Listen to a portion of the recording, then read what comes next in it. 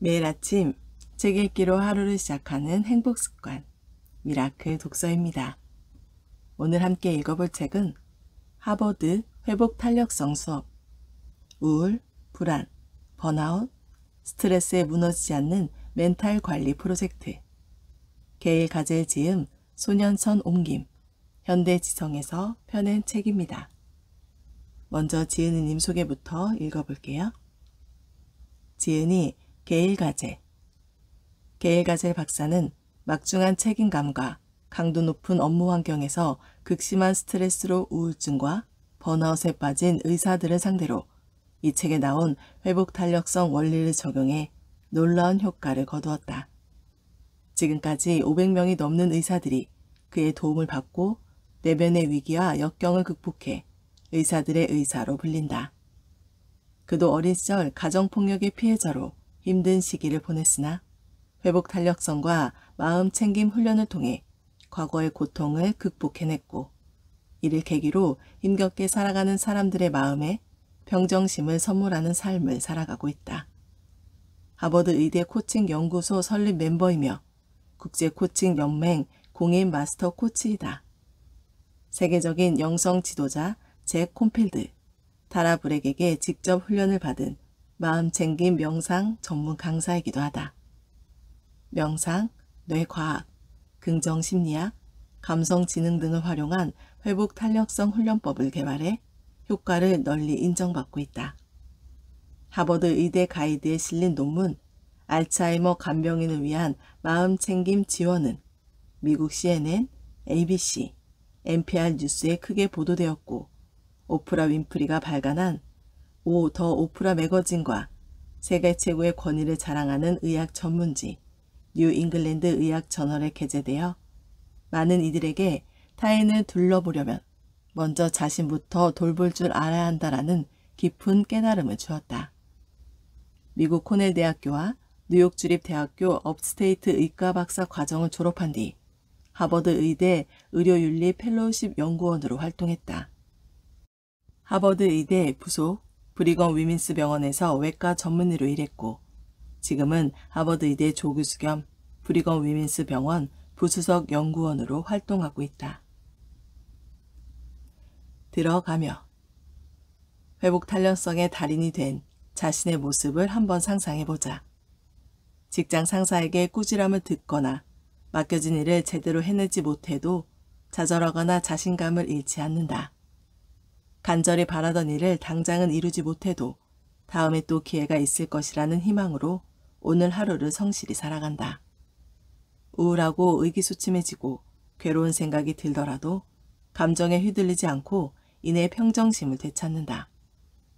삶의 조건은 변한 게 없지만 달라진 점 하나가 있다. 내적인 힘을 갖춰 몸과 마음이 건강해지고 안정감을 갖게 된 것이다. 달인처럼 능수능란하게 인생을 살아갈 수 있다니 상상만 해도 너무 좋지 않은가? 여러분에게 알려주고 싶은 기쁜 소식이 있다. 회복 탄력성은 그리 멀지 않은 곳에 있다는 사실 말이다. 당신이 몇 살이든 어떤 삶을 살아왔든지 간에 이미 충분히 역경과 시련을 겪었을 것이다.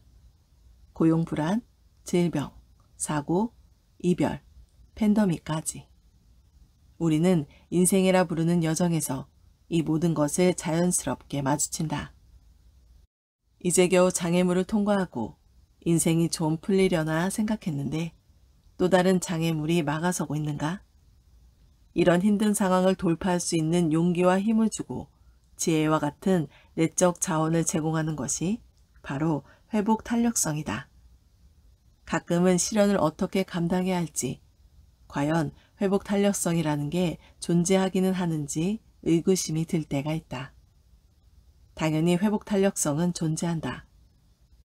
누구나 내면 깊숙이 회복 탄력성이 잠재되어 있다. 회복 탄력성은 비범한 사람만이 가지는 특별한 자질이 아닌 모든 사람의 내면에 이미 자리하고 있는 공통적인 본성과도 같다. 다만 그동안 우리가 회복 탄력성에 접근하는 법을 알지 못했을 뿐이다. 이 깊고도 굳건한 힘을 따로 배운 적이 없어서 그렇다. 역경 관리에 필요한 힘과 도구가 내면 깊숙한 곳에서 우리에게 발견되길 기다리고 있다. 당신 안에 원석처럼 묻혀있는 회복 탄력성을 발굴해야 한다. 어떻게 이 힘을 꺼냈을지, 어떻게 이 도구를 갈고 닦을지에 관해 현대 신경과학 분야에서 활발하게 연구되어 왔다. 나는 당신과 그 힘을 찾아가는 여정을 함께하려 한다. 이 책에서는 회복 탄력성을 심층적으로 이해하기 위해 최근 신경과학의 여러 연구 결과를 검토할 것이다. 나는 의료 현장에서 온갖 어려움을 겪는 수천 명의 사람을 만나보았다. 특히 시한부의 환자를 돌보는 호스피스 의료인인 신분으로 인생의 마지막에 있는 사람들을 돕고 있다. 그중 마음의 고통에 굴복하는 이들도 많이 본다. 반대로 소중한 사람들과 남은 시간을 가치 있게 보내는 이들도 보았다. 내가 호스피스 의료인 15년 차였을 때 의료계는 힘든 시기를 보내고 있었다. 전자의료 기록 시스템이 도입되고 생산성과 수익성만 강조하는 체계로 바뀐 것이다. 그런 탓에 많은 의료인이 자신의 소명으로부터 소외된 느낌을 받았고 행정적인 부담이 가중되어 환자를 돌보는데 어려움을 겪었다. 나는 이런 의료인들을 돕고자 의료인 전문 코치가 되기로 마음먹었다. 그 후 10년 동안 500여 명의 동료를 코치하는 특권을 누렸다. 이 과정에서 동료들이 회복 탄력성을 발휘해 시련을 극복하는 엄청난 일들을 경험했다. 아울러 나는 전문 명상 강사로 활동하면서 마음 챙김 훈련을 깊이 탐구하기도 했다. 나도 개인적으로 회복 탄력성이 절실히 필요한 사람이었다. 나는 중산층 가정에서 교육 수준이 높은 부모님 밑에서 자랐다. 겉으로는 행복하고 단란한 가정이었지만 집 안에서 벌어지는 일은 전혀 딴판이었다. 부모님 두 분 모두 자신의 상처를 극복하지 못해 자녀인 나에게 많은 학대를 가했다. 나는 그런 부모님을 피해 학교 공부에 몰두했고 친구들의 우정에 더 많이 기댔다. 어려운 시기를 견디려고 책 속에 펼쳐진 멋진 세상으로 도피하기도 했다. 암울한 가정 환경을 극복하기 위해서는 내면의 힘이 필요했다. 그 당시 회복 탄력성이라는 개념을 만나고 내 삶에 적용하면서 힘겨운 어린 시절을 이겨낼 수 있었다. 이 책에서 소개할 여러 훈련을 통해 내면의 강점과 선한 능력을 재발견했다. 누구나 회복 탄력성을 소유하고 있고 누구나 회복 탄력성이 필요하다. SNS를 보면 사람들은 모두 별다른 위기 없이 근사한 삶을 살고 있는 것처럼 보인다. 그래서 왜 나만 이렇게 힘들까? 왜 내 인생은 이렇게 꼬이는 거지? 라는 의문이 들기도 한다. 하지만 실제로는 그들의 삶에서 무슨 일이 벌어지는지 알 수 없다.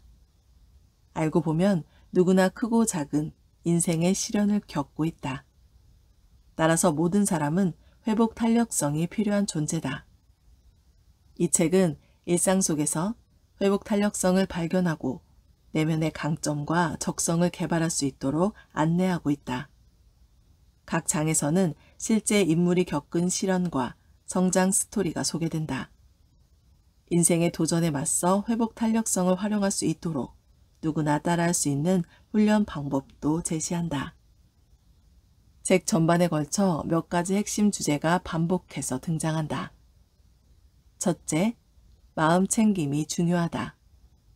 마음 챙김은 우리가 경험하는 것의 실체가 무엇인지 알게 하여 더욱 명확한 관점을 가지고 다음 행보를 정할 수 있게 한다. 둘째, 우리가 집중하는 것이 현실이 될 확률이 높다는 사실을 살펴본다.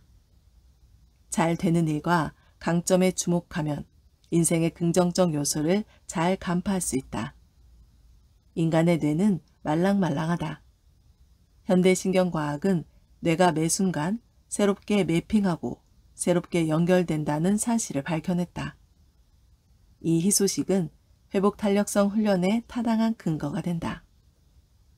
마지막으로 인생에는 많은 선택 지점이 있다는 사실을 명심해야 한다. 물론 우리의 통제 범위를 벗어난 역경과 어려움도 많다. 하지만 회복 탄력성은 우리가 통제할 수 있는 것에 내리는 선택과 관련이 있다. 회복 탄력성은 시련을 만났을 때 어쩔 수 없이 인내하게 하는 것이 아니다.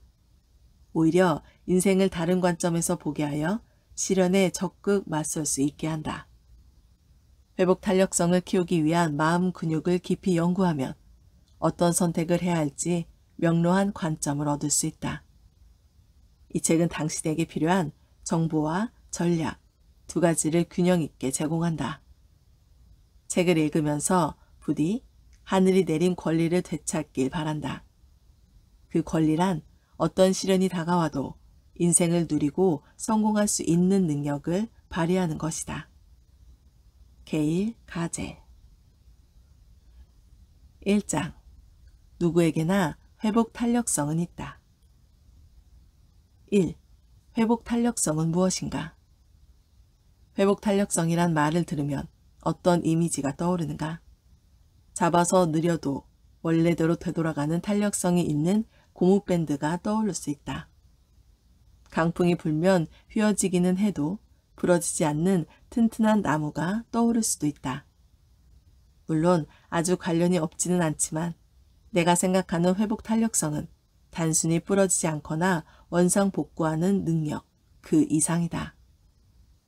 나는 회복 탄력성이란 말을 들으면 무엇보다도 우물의 이미지가 떠오른다. 회복 탄력성은 인간의 역경과 도전에 맞설 때 마음의 원천에서 필요한 자원을 끌어올릴 수 있는 내적인 능력을 말한다. 이번 장에서는 회복 탄력성이 무엇인지 자세히 알아보도록 하자. 회복 탄력성이라는 내면의 원천. 회복 탄력성은 단순히 난관에 맞서 일어서는 것만을 말하지 않는다. 내면의 힘과 자원, 지혜, 선함을 포함한다. 마음과 정신을 강하게 만들어 역경을 뚫고 나아가게 하고 우리를 억누르는 상황을 감당할 수 있게 해준다. 역경은 늘 일어나기 마련이다. 인생에서 역경은 피할 수가 없다. 하지만 회복 탄력성이 있으면 역경에 맞설 수 있다. 회복 탄력성은 어떤 장애물도 극복하도록 돕는다. 당신이 회복 탄력성이라는 우물, 원천 앞에 서 있다고 상상해보자. 이 우물 안에는 청량하고 신선한 생수가 가득하다. 모든 생명체에 자양분을 제공하고 생명을 유지시키는 원천이다. 잠시 이 우물의 생수를 떠서 마시는 장면을 상상해보자. 생수를 마실 때 어떤 느낌인가? 몸의 긴장감이 풀리는가? 마음이 차분해지는가? 당신이 이 책에서 길어올린 소중한 지혜는 인생에서 만나는 크고 작은 도전에 어떻게 맞설지 알려줄 것이다. 실제로 회복 탄력성을 과감히 발휘해 인생의 도전을 극복한 사람들이 있다. 두 아이의 엄마이자 초등학교 1학년 담임교사인 제니퍼는 다발 경화증 진단을 받았다. 예전에는 달리기 많이 하였지만 이제는 지팡이 두 개가 없으면 걸을 수가 없다.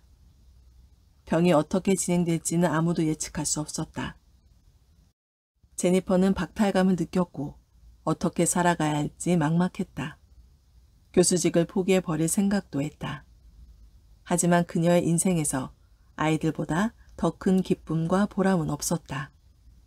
병이 무엇을 앗아갔든 그녀에게는 교실을 지키는 것이 앞으로 나아갈 원동력이 되었다. 수많은 역경이 있었지만 의미 있는 일을 하고 있다는 생각이 모든 상황을 이기는데 도움이 되었다.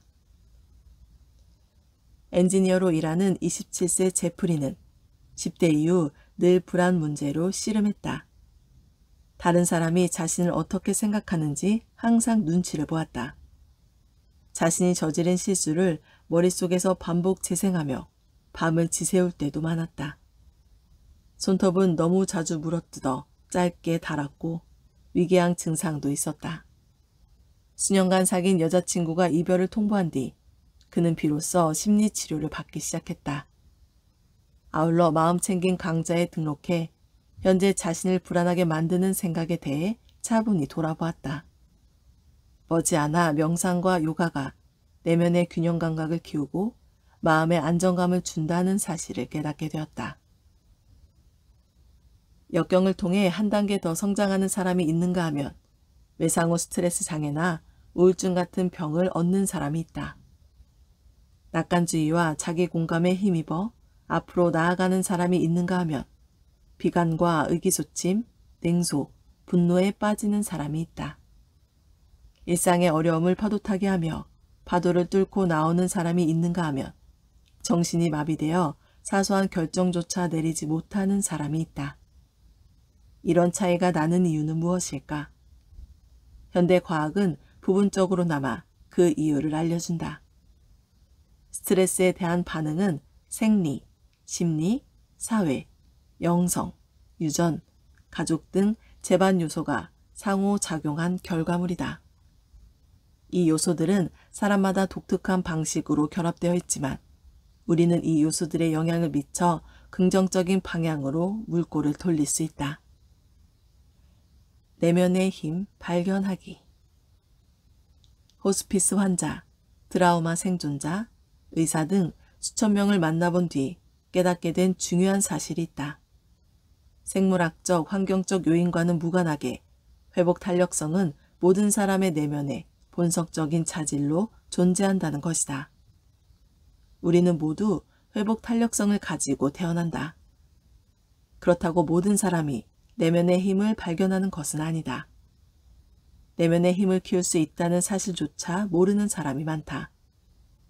회복 탄력성이 높으면 내 인생의 작가가 되어 과거에 벌어진 일과 상관없이 새롭게 엔딩을 써내려 갈 수 있다는 것도 배우지 못했다. 경험에서 얻은 지혜를 존중하는 것이 회복 탄력성을 키우는데 유익하다는 사실도 몰랐다. 이 책은 회복 탄력성을 이해하고 개발하는데 필수적인 여러 도구를 제공한다. 1장에서는 스트레스와 역경에 긍정적으로 반응하도록 뇌를 훈련시킬 수 있다는 학계의 연구 결과를 살펴본다. 그리고 회복 탄력성의 핵심 구성 요소와 각각의 요소를 강화시키는 방법을 알아본다. 2장에서는 대인관계와 공동체가 회복 탄력성에 미치는 긍정적인 영향을 이해하고 건강하고 지속적인 관계 맺는 법을 배운다. 3장에서는 유연한 생각을 갖추는 방법을 살펴보고 변화와 불확실성에 대처하는 새로운 방법을 모색한다. 4장에서는 끈기와 동기부여가 삶을 변화시키는데 어떤 유익함을 주는지 배운다. 5장에서는 회복 탄력성을 가로막는 부정적 감정을 알아본다. 6장에서는 긍정적 감정이 성장, 건강, 창의성에 미치는 영향을 살펴본다. 7장에서는 자기 돌봄의 방법을 알려준다. 마지막으로 8장에서는 지금까지 배운 것을 복습하고 회복 탄력성을 키우는 장기적인 계획을 세운다. 이 수업에서는 회복 탄력성에 도움을 받은 사람들의 실제 이야기도 소개한다. 또 일상에서 누구나 시도해 볼 수 있는 회복 탄력성 훈련 방법도 제시한다. 훈련에는 자기 성찰을 위한 개인적인 글쓰기도 포함된다. 노트를 한 권 준비해 떠오르는 아이디어나 통찰 등을 메모해 보기를 권한다. 진행 과정을 돌아보고 배운 바를 복습하는 일이 한결 수월해질 것이다. 2. 당신의 뇌회로를 충분히 바꿀 수 있다. 회복 탄력성의 핵심은 뇌가 효과적으로 스트레스를 관리하고 위협에 반응하는 방식을 강화하는 데 있다. 지금 당신의 스트레스 대처 습관이 불완전하더라도 걱정할 필요는 없다.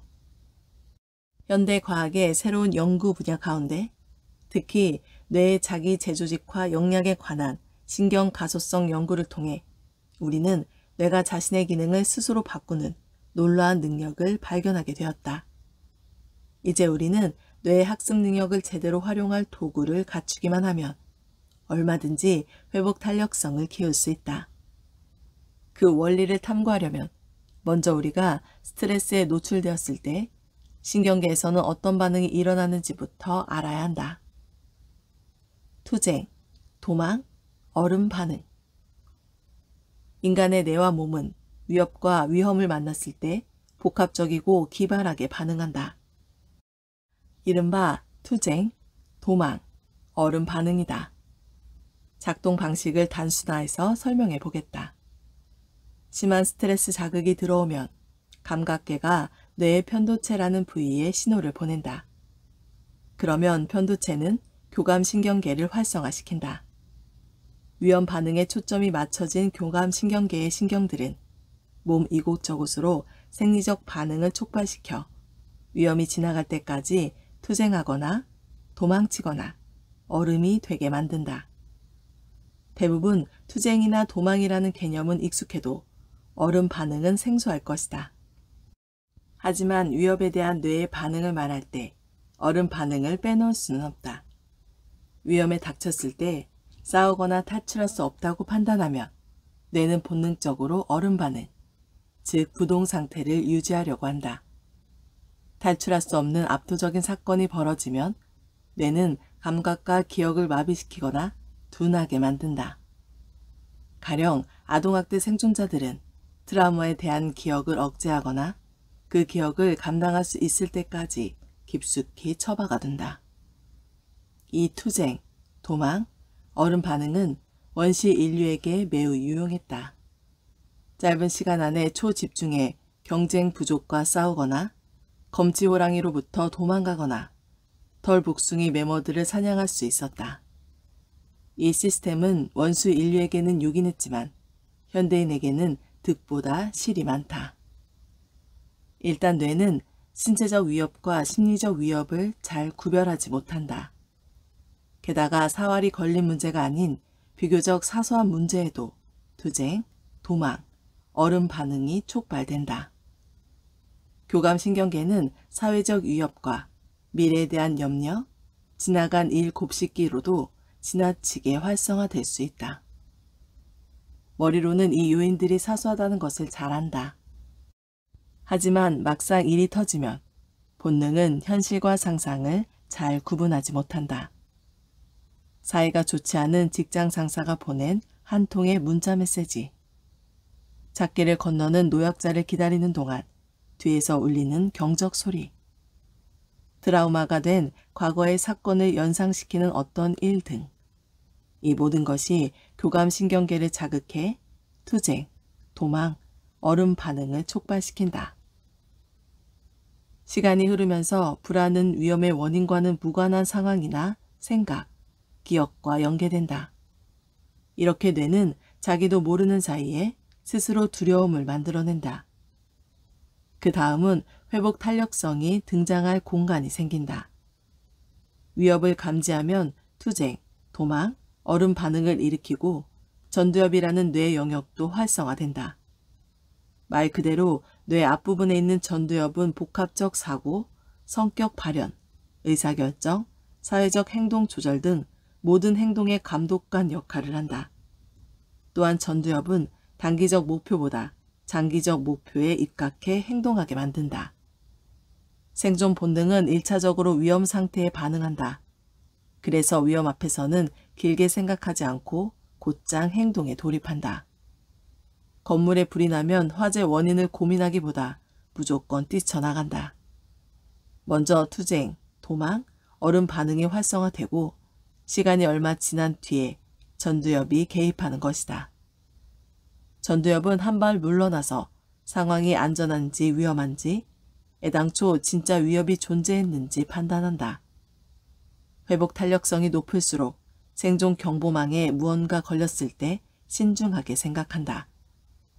스트레스에 대한 반응을 돌아보고 교감신경계가 과잉 반응을 일으켰는지 점검하는 것이 중요하다. 우리는 흥분을 가라앉히지 않으면 스트레스 앞에서 합리적으로 행동할 수 없다. 다시 불이 난 건물을 예로 들면 화재 현장에서 뛰쳐나온 뒤 한달음에 찻길로 달려가서는 안 된다. 투쟁, 도망, 얼음 반응이 일어나면 코르티솔이라는 스트레스 호르몬이 분출된다. 코르티솔은 위험에 대처할 때 자원을 끌어온다. 단기적으로 봤을 때는 괜찮다. 가빠진 호흡과 심장 박동이 신속하게 폐와 산소를 근육에 공급해 우리가 위협에 싸우거나 도망치게 한다. 그러나 자주 스트레스를 받아 코르티솔이 누적되면 심신의 건강을 망가뜨릴 수 있다.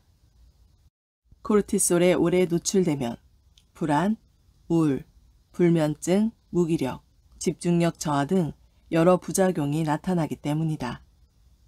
요약하자면 현대사회에서는 실제 위협이 아니더라도 온갖 요인에 따라 뇌의 투쟁, 도망, 얼음 반응이 나타난다.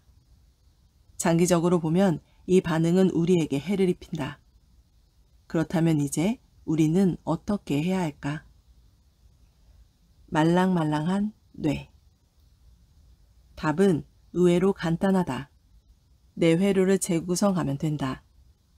20여 년 전만 해도 학자들은 인간의 뇌가 청년기부터 크게 변하지 않는다고 믿었다. 하지만 최근의 뇌과학 연구 결과에 따르면 실상은 정반대다. 뇌의 구조와 기능은 말랑말랑하고 일생에 걸쳐 쉬지 않고 변하는데 이러한 능력을 신경가소성이라고 부른다. 생각, 행동, 경험의 변화에 적응해 뇌는 계속 변한다. 회복 탄력성을 키우는데 기막힌 희소식이 아닐 수 없다. 신경 가소성은 이 책에서 배울 여러 훈련법과 과학적 기반이 된다. 반복된 활동으로 강하게 연결된 특정 신경망은 생각과 행동의 동선이 된다. 반복된 생각과 행동이 그 동선을 심화하는 것이다. 습관을 바꾸기 어려운 이유가 바로 여기에 있다. 하지만 새로운 것을 학습하고 실행하고 반복하면 또 다른 뇌의 사고 프로세스가 생겨난다.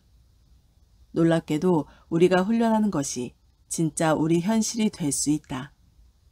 긍정적 경험이나 감정, 성공을 반복적으로 떠올리고 생각하면 관련된 신경 연결 회로가 자라나고 뇌는 긍정성에 집중한다. 반면 원망과 불만이 가득해 계속해서 스스로를 비난하면 부정성을 키우는 셈이 된다. 강력하게 연결된 신경세포, 뉴런 집합은 학습이나 습관 형성의 토대가 된다. 생각, 느낌, 신체 감각이 신경 연결망을 형성하거나 변형한다는 사실이 신경과학 분야에서 발견되었다. 이 연결망은 우리의 경험을 기반으로 지속적으로 재회로화를 진행한다. 뇌에서 동일한 신경 경로를 따라 반복적으로 활성화가 일어날수록 뉴런의 연결과 조직화는 더 강해진다. 다시 말해 한 묶음으로 활성화되는 신경세포는 한 묶음으로 회로화된다는 것이다. 이것은 회복 탄력성 개발에 결정적으로 중요한 개념이다. 긍정적인 것을 거듭 생각하면 신경회로가 더 긍정적인 변화를 향해 확장된다는 말이다. 염려, 두려움, 불안과 관련된 신경회로는 덜 사용할수록 위축된다. 그러므로 현대 신경과학은 잘 되는 일에 일부러 집중하는 것이 중요하다고 강조한다. 이를 잘 보여주는 실제 사례가 있다. 존이 기억하는 아버지는 비판적이고 까다로웠다. 아버지는 형에 비해 존이 똑똑하지 않아 학교 공부에 뒤처지고 운동도 못한다고 자주 말했다. 성인이 된 존은 열등감이 가득했다. 사소한 피드백에도 두려움과 불안감에 휩싸여 자신의 언행을 치열하게 검열하곤 했다. 40대의 시련을 겪은 뒤에 존은 인지행동 치료를 받기 시작했다. 행동과 감정의 문제를 비효율적으로 다루게 하는 사고방식과 이미지, 신념, 태도에 초점을 맞추는 치료다. 존은 자신의 사고 패턴이 아버지의 심술궂고 부정확한 메시지를 강화하고 있음을 알게 되었다. 그 후로는 난 강점이 많아. 난 똑똑하고 재능이 있는 사람이야. 라며 인정하고 공감의 메시지로 맞서는 훈련을 시작했다. 상당한 시간과 노력이 필요했지만 불안은 차츰 줄어들고 긍정적이고 올바른 자아상을 갖게 되었다. 그렇게 해서 조는 어린 시절에 형성된 부정적인 신경 경로를 대체할 만한 새로운 신경 경로를 만들어냈다. 인생에는 피하기 어려운 시련이 있기 마련이지만 뇌의 강력한 재생 능력을 활용하면 현실을 새롭게 바꿀 수 있다. 존도 과거는 바꾸지 못했지만 현재는 얼마든지 바꿀 수 있었다. 3. 회복 탄력성 개발의 출발점 회복 탄력성 개발은 개인적으로 이루어진다. 사람은 각자 다른 방식으로 스트레스에 반응하기 때문이다. 역경에 대처하는 방식은 사람마다 다르다. 그 방식에 하나의 정답이 있는 건 아니다. 모든 경우에 들어맞는 모범적인 반응이 있고 결과도 같아야 하는 게 아니다. 따라서 나에게 가장 잘 맞는 방식으로 도전에 맞설 도구를 개발해야 한다. 각자의 상황에 가장 적합한 회복 탄력성 공식을 찾아야 한다. 회복 탄력성을 개발할 때 자신이 성장한 정도를 어떤 식으로 평가하는가? 우리는 대부분 자신에게 높은 점수를 주지 않는다. 하지만 너그러움과 공감이야말로 회복 탄력성의 주춧돌이다. 자신에게 지원군이 되어주어야 한다. 어떤 여정에 있든 나는 지금 여기에 있어야 한다. 심리학자 칼 로저스의 표현을 빌린다면 나 자신을 있는 그대로 수용하면 그때부터 나는 변한다. 자신에 대한 평가는 회복 탄력성을 키우는데 큰 영향을 미친다. 같은 상황이라도 관점이 달라지면 전혀 다른 결과가 나온다. 로즈는 18살에 처음으로 우울증 발작을 일으켰다. 10대 시절 불안에 시달리며 스스로를 엄격하게 몰아붙여 전 과목 A학점을 받는 우등생이었다. 축구 선수로도 맹활약했다. 자신의 모든 능력에 큰 자긍심을 느꼈고 가고 싶은 대학 교육학과에 입학했을 땐 짜릿함을 맛보기도 했다. 하지만 대학 첫 학기에 자신과 맞는 친구들을 찾지 못해 고립되어 갔다. 사회성이 떨어지는 자신을 두고 남들처럼 인기가 없다고 자책했다. 사회생활에서 위축되자 급속도로 침체에 빠져들었다.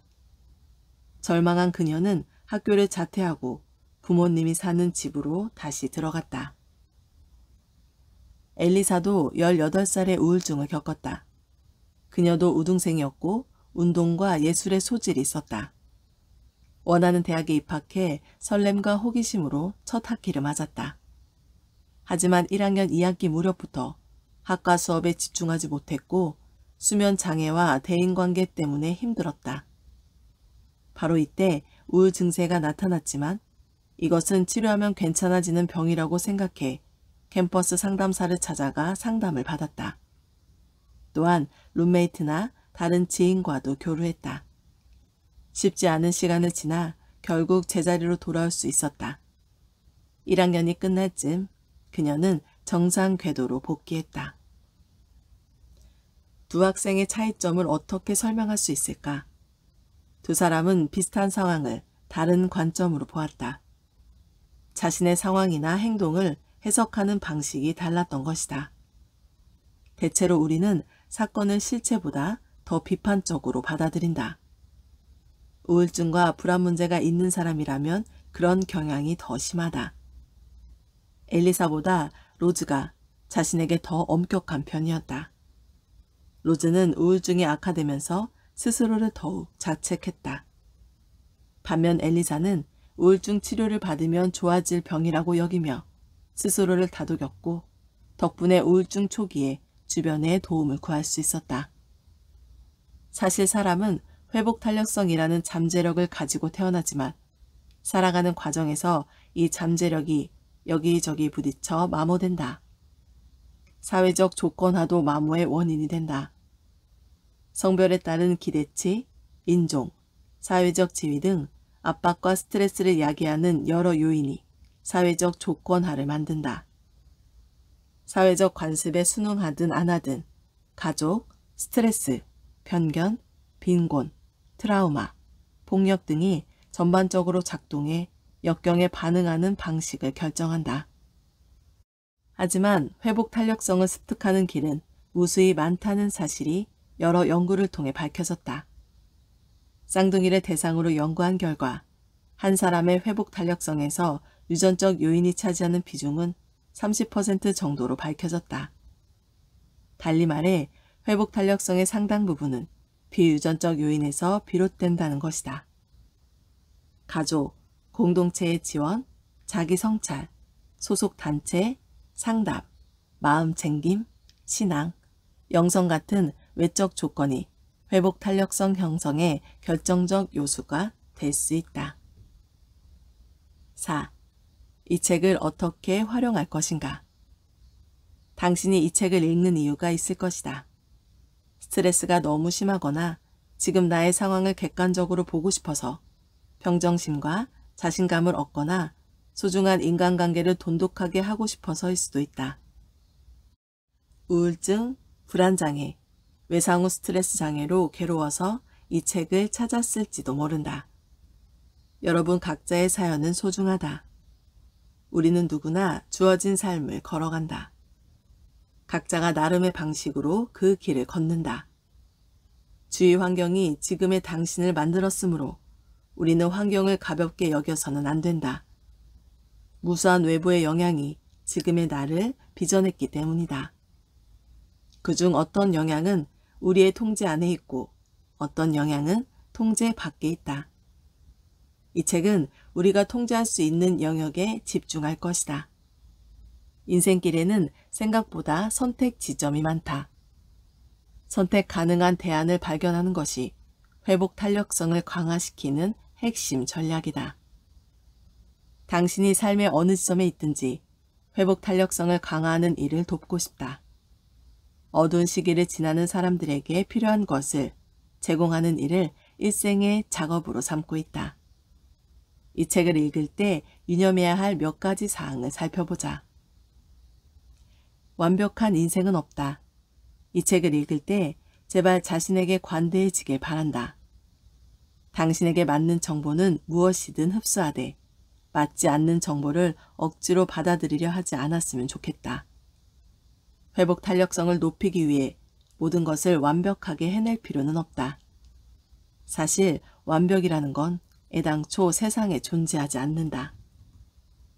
왜 회복 탄력성을 개발하는지 명심한다. 현재 많은 일에 둘러싸여 있더라도 부디 분주한 시간에서 벗어나 인생을 성찰하고 쉼을 얻는 기회로 삼길 바란다. 시간을 내는 것이 정 어렵다면 회복 탄력성 개발을 인생에 대한 투자라고 생각해보자. 이 책은 인생을 새롭게 보게 하는 절호의 기회를 제공한다. 우리는 다음과 같은 질문에 대해 생각할 시간을 갖게 될 것이다. 어떤 사건이 가장 힘겹게 다가왔는가? 나는 어디에서 필요한 자원을 얻었는가? 어떻게 역경이 지금의 나를 만들었는가? 현재 어려움 속에서 나 자신에 관해 배운 점은 무엇인가? 위 질문을 곰곰이 생각해 보면 회복 탄력성을 높이는데 무엇이 필요한지 발견하게 된다. 그러면 잠깐 밀어놓은 일들도 나중에 더 효과적으로 수행할 수 있다. 회복 탄력성 개발은 일종의 프로세스다. 헬스장에서 근육을 만드는 것처럼 회복 탄력성 개발은 시간이 흐를수록 강화되는 일종의 프로세스다. 이 책은 회복 탄력성 개발에 유용한 훈련 방법을 다양하게 소개하고 있다. 회복 탄력성 훈련은 답이 정해진 것이 아니다. 이 책에서 다양한 유형의 훈련을 소개하는 이유는 저마다 맞는 방식이 따로 있음을 잘 알기 때문이다. 각자의 출발점은 다를 수 있다. 회복 탄력성 개발은 비선형적 경험이다. 나도 성장과 치유뿐 아니라 고통과 시련의 시기를 겪었다. 인생은 계속 좋을 때도 있고 계속 나쁠 때도 있지만 대부분은 좋은 것과 나쁜 것이 뒤섞여 있다. 이 책을 처음부터 완독해도 좋지만 마음에 와닿는 페이지부터 시작해도 상관없다. 읽다 보면 조용히 명상하거나 친구와 토론할 만한 생각거리가 보인다. 이것이 각자의 여정을 시작하는 출발점이 되면 좋겠다. 어떤 길을 가든 늘 희망은 있다. 상투적으로 하는 말이 아니다. 회복 탄력성이 말라버린 것처럼 느껴질 때라도 여전히 내면에는 생존에 필요한 양분이 들어있다. 아무리 인생이 암담해도 회복 탄력성은 바닥나지 않는다. 내 삶에서 내가 만난 환자나 내담자의 삶에서 거듭 목격한 진실이다. 핵심 정리 회복 탄력성은 어려움과 역경을 이겨내는 내면의 자원이다. 우리에게는 누구나 끌어다 쓰고 재충전할 수 있는 회복 탄력성이 있다. 뇌의 경보 시스템은 과잉 반응을 일으켜 우리는 사소한 사건에도 투쟁, 도망, 얼음 반응을 보인다. 이 반응은 스트레스를 야기하고 불안감과 온갖 신체 증상을 유발한다. 뇌는 말랑말랑해서 끊임없이 변화한다. 훈련을 통해 부정적 성향을 건강하고 긍정적 성향으로 바꿀 수 있다. 즉, 멘탈의 경로를 바꿀 수 있다. 회복 탄력성 개발은 사람마다 다른 양상으로 나타나는 개인적인 여정이다. 회복 탄력성은 대부분 환경적 요인에 기인한다. 가족, 공동체 지원, 자아 성찰, 소속 단체, 상담, 마음 챙김, 신앙 등 여러 요소가 회복 탄력성의 핵심 요소가 될 수 있다. 자기 판단을 삼가는 것과 자기 자신을 공감하는 것은 회복 탄력성에 결정적인 영향을 미친다. 오늘 미라클 독서는 여기까지 읽도록 하겠습니다. 오늘도 감사합니다.